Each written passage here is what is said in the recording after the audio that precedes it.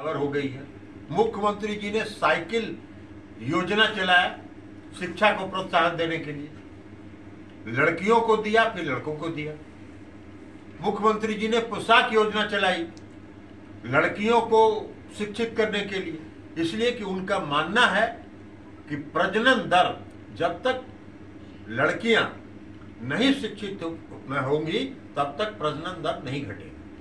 और आज बिहार का प्रजनन दर 2.9 हो गया।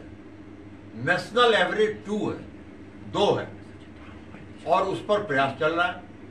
तो ये चार से जो 2.9 आया, इसमें प्रसाद जी का, किशोर जी का कोई योगदान है क्या? तो जिसको नहीं कुछ चीज़ से मतलब है, अपनी ब्रांडिंग करनी है, अपना प्रोडक्ट को मार्केट में लॉन्च करना है तो वो लॉन्च करते रहे, वो व्यापारी है। कौन रोके हुए अरे सबको मालूम है कि वो किसका काम आजकल कर रहे हैं।